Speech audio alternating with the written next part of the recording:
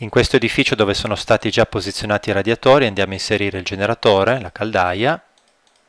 andiamo a posizionare il collettore a una certa altezza da pavimento, 40 cm, lo posizioniamo nel corridoio,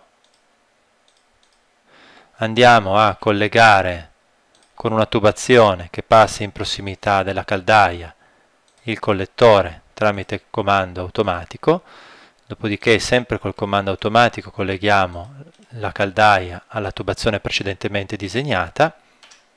andiamo a collegare il,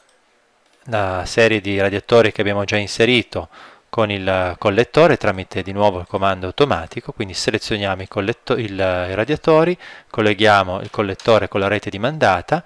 procediamo nel disegno del ritorno simmetrico, effettuiamo il calcolo di entrambe le reti,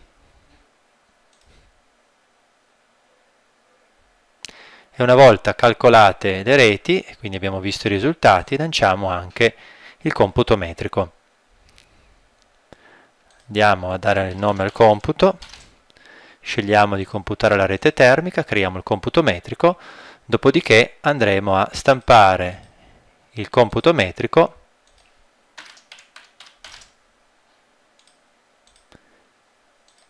e procederemo all'apertura del computo.